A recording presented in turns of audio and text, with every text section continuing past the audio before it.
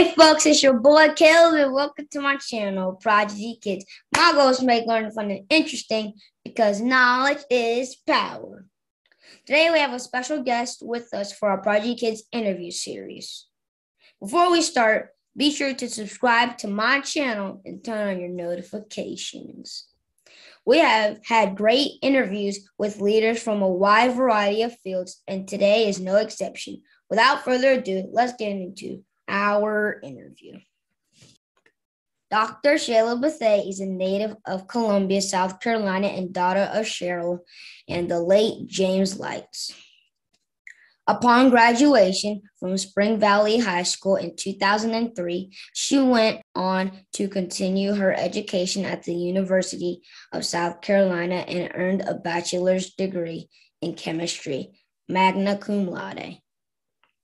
After briefly being in, in the workforce, Dr. Bethea returned to school and pursued a Doctor of Pharmacy degree from the Medical University of South Carolina in Charleston, South Carolina.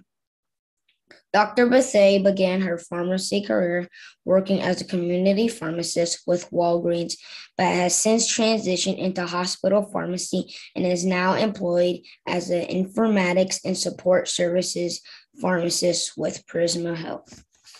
In her free time, Shayla enjoys spending time with her husband, Dr. Gary Bethea, and four sons, Keon, Gaius, Elijah, and Nolan. They enjoy great food, traveling, watching movies, and fellowshipping with their extended family and friends. The Betheas are active members of First Northeast Baptist Church and also strive to make a difference through their newly founded nonprofit organization, Deeper Than Dentistry. Please give a warm Prodigy Kids welcome to Dr. Shayla Bethea. Thank you for joining us today. So, how does it feel to be our featured guest? Um, well, I am super excited. I am thankful that you thought enough of me to have me on your show. Um, I think you've been doing an awesome job so far, and it's just been wonderful just watching all of the uh, topics you've done so far. So, thank you. Great. Today, we're going to talk about your career in pharmacy, what it takes to become a pharmacist your nonprofit organization, and some fun facts about you. Let's start by discussing how you first became interested in the field of pharmacy. Tell us how you were first introduced to, to the profession. Sure. So I have always um, enjoyed math and science. So in school, um, those were the subjects that I just really loved to go to. I mean, I still worked hard in all of my other subjects, but um, I was drawn to those, so I knew I was always going to do something involved with those subjects. Um, and later, so um, as you read just a minute ago, I went to school and earned my bachelor's in chemistry um, at U- USC.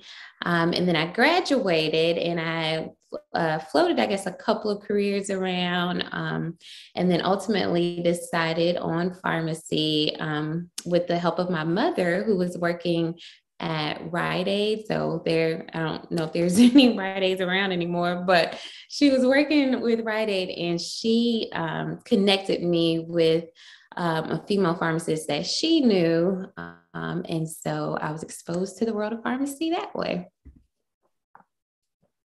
Feels like pharmacy requires super math and science skills. Do, do you enjoy these subjects as a kid growing up?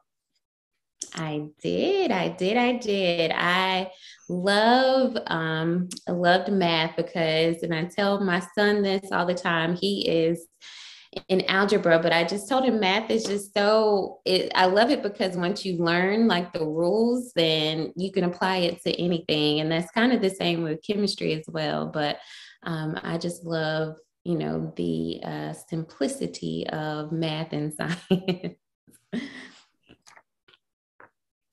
Some kids don't think you have to take school seriously. Do you think you would have been able to become a pharmacist if you didn't work hard to earn A's in school?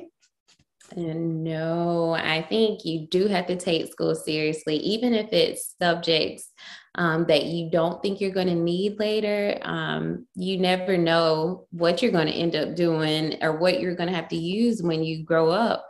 Um, so you do have to take everything seriously, and it just helps you become um, a better person overall. Because even like I said, I I like math and science, but I still did well in history and English and um, social studies and just all those other subjects. And now I'm still able to, you know, enjoy those to a certain extent because I learned and, and still paid attention in class. So I think no matter what you plan on doing, it's important to do well in school. You also learn uh, general life skills outside of what you're going to do as you know for your career um, in school as well in these different subjects so always take it seriously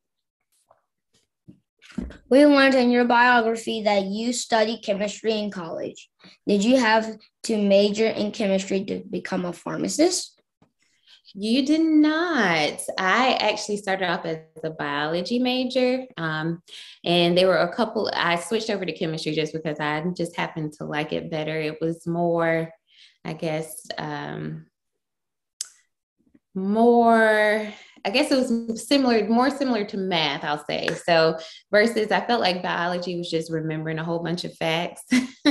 So I think I started to enjoy chemistry a little better. So I switched over to chemistry, where again, I, you know, could learn basic principles and then just apply it to whatever problem that was given. So, um, but when I was in pharmacy school, my classmates, there there was a wide range. There was someone who was a realtor before they decided to go to pharmacy school. So they help people buy and sell homes. And there was someone who came out of the military. There was someone who, um, other biology majors and uh, physics. So it was just a wide range of things. You do have to have like a set of classes that you um, are required to take before you get to pharmacy school.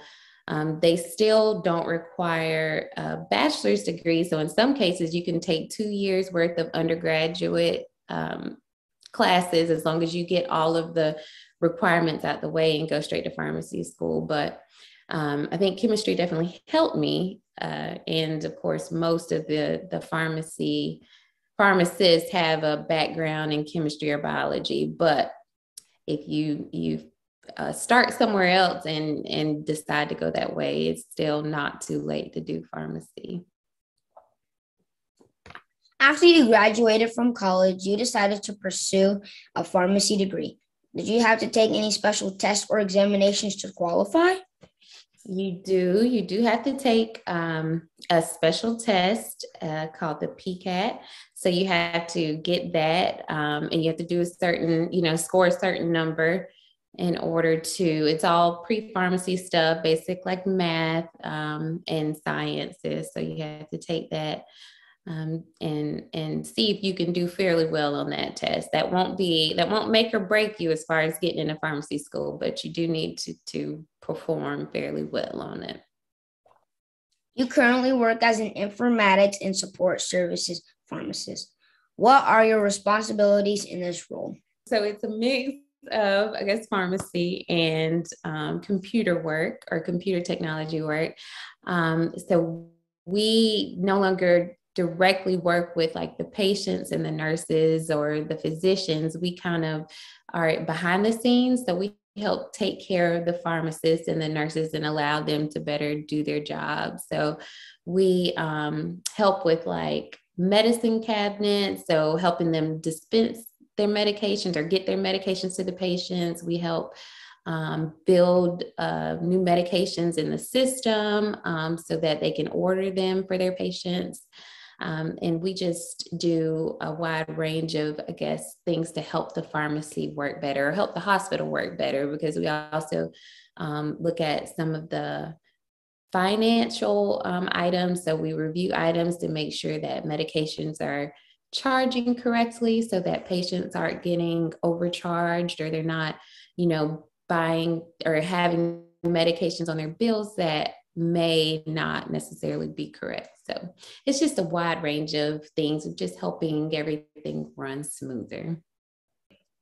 We're going to pivot a little and talk about you and your husband's nonprofit, Deeper Than Dentistry.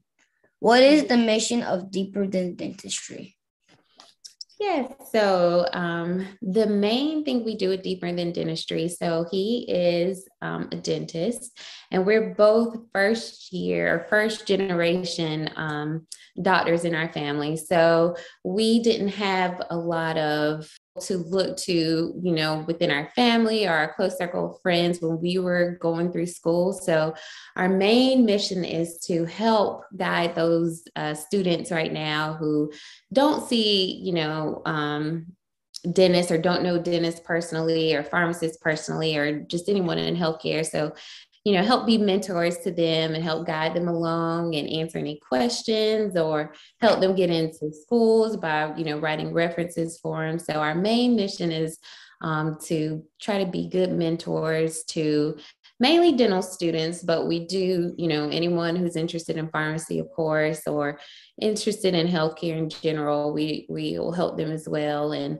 um, Gary, my husband, also um, goes and speaks to schools as well. So that's a part of what uh, Deeper Than Dentistry helps coordinate. And um, we also we haven't been able to do much because of COVID, but we also help those patients in our community who may not have the, the funds or may not have the insurance to uh, get regular dental work done. So, those are the main components of our nonprofit. Let the Prodigy Kids Nation know how they connect with you. Do you have a social media or web presence? Um, we do not have a social media, but we do have a website. Um, so uh, our website is www.deeperthandentistry.org. Um, we also have our individual, you know, Facebook pages that we may uh, tag um, deeper than dentistry, you know, events or um, mentees in. So, of course, Shayla Bethea or Gary Bethea. Um, and then we also have an email address if someone wants to email us directly, and that's info at deeperthandentistry.org. Now we're going to transition and try something new today. We call it the lightning round. You'll have two options to choose from for each question. Select the option that is your favorite of the two. Are you ready? Sure. Awesome. Here we go. Batman or Black Panther? Oh, Black Panther. Basketball or football? Ah, this is tight. I I don't know. I enjoy both of them. I think I'm gonna go with football. More, yeah, I'm gonna go. I'm gonna lean on football. It's close though. Beyonce or Mary J. Blige? hmm. I don't know. Uh, I'm gonna say Beyonce. Got to go with Queen Bey. LeBron or Michael Jordan? Oh, buddy, Michael Jordan. I love LeBron, but we'll say Michael Jordan. Yeah, yeah, he's he's still on top. Stephen A. Smith or Oprah? Hmm. I don't know. Stephen A. Smith is pretty funny, but I used to watch Oprah every day in undergraduate school. So I don't know. I will go with Oprah. First Northeast Baptist or First Northeast Baptist? well, First Northeast Baptist, yes. awesome. I like that. Before we go, what advice do you have for kids like me? You know, kids trying to do great things? Yes, I'd say just keep going. Um, just keep being creative. And um, of course, just whatever ideas you have, write them down and um, and keep God for first, of course. And um, I think you'll just keep on doing great things. Would you like to give a shout out to anyone before we sign off? Hmm, a shout out. I don't know. Well, I'll say I'll give a shout out to my husband, Gary, and our four boys. So um, I guess that'll be it for my shout outs. As always, thank you, Prodigy Kids Nation, for your viewership. Until next time, stay happy, stay healthy, and rise up. Bye. Bye. Thank you.